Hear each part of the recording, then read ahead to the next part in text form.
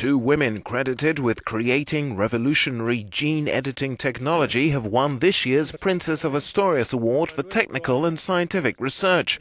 Emmanuelle Charpentier and Jennifer Doudna have developed a way to give scientists the power to remove or add genetic material at will. Announcing the award, the president of the jury praised their work as groundbreaking. Both researchers studied how bacteria defend against certain viruses that infect them, destroying their DNA by recognizing some of its features, he said. This methodology allows them to remove, activate, inactivate, or even correct genes and could be used in various applications for basic research, as well as in agriculture, livestock, and biomedicine.